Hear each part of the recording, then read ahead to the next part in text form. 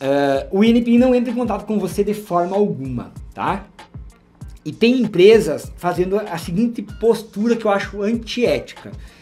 Eles ligam para você dizendo para você: "Olha, eu sou aqui de São Paulo, você é do Rio Grande do Sul, por exemplo, tem uma empresa XYZ que está querendo registrar essa marca.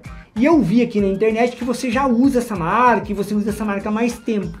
Então eu estou entrando em contato para ver se você realmente não tem interesse em ser dono dessa marca, porque se você não tem interesse, é, conforme previsto na legislação, eu vou dar continuidade no pedido de registro da marca do meu cliente aqui.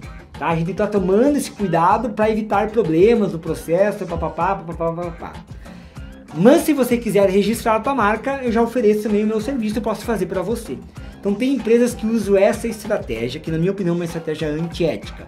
O registro de marca é de quem, de quem primeiro for lá no INPI e solicitar esse registro.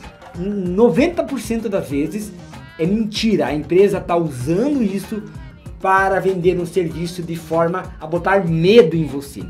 E algumas vezes eles são mais espertos ainda. Eles encontram realmente duas empresas com o mesmo nome no mercado, porque pelo Facebook você encontra muito fácil, e eles ligam para essas duas empresas. A que a cair no, na, na, proposta deles, eles vendem o serviço.